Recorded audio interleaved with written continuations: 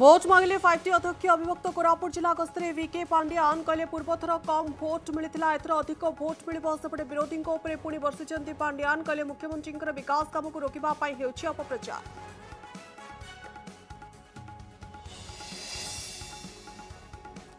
राज्य कोविड आक्रांत चिन्हट होगापर सतर्क कला स्वास्थ्य विभाग वयस्कों मास्क पिंधि बाहर को बाहर परामर्श भिड़ दूरे रुहतु एकाधिक रोग आक्रांत वयस्क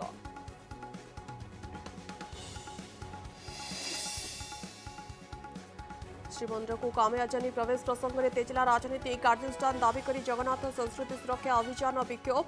ଧର୍ମେନ୍ଦ୍ର କହିଲେ ମହାପ୍ରଭୁଙ୍କର ଅସ୍ଥା ସହିତ ଖେଳିବା ଅନୁଚିତ ବିଜେଡି ସାଂସଦ ମାନସ ମଙ୍ଗରାଜଙ୍କର କାଉଣ୍ଟର ଉଭୟ ବିଜେପି ଏବଂ ବିଜେଡିକୁ ଦୋଷ ଦେଲା କଂଗ୍ରେସ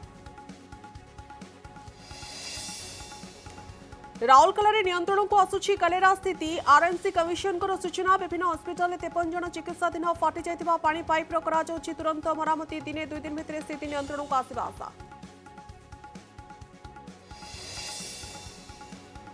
କ୍ରେଡିଟ୍ କାର୍ଡ ଠକେଇ ମାମଲାରେ ଛଅ ଜଣଙ୍କୁ ବାନ୍ଧିଲା ଭୁବନେଶ୍ୱର ସାଇବର ଥାନା ଆଠ କୋଟି ଟଙ୍କା ଠକେଇ ହୋଇଥିବା ନେଇ ଅଭିଯୋଗ କରିଥିଲେ ରାକେଶ କୁମାର ନାୟକ ଗିରଫ ପରେ ଅଭିଯୁକ୍ତଙ୍କଠାରୁ ସାତ ଲକ୍ଷ ଟଙ୍କା ସହିତ ଚାରିଶହ ପଚାଶଟି ଡେବିଟ୍ ଏବଂ କ୍ରେଡିଟ୍ କାର୍ଡ ଜବତ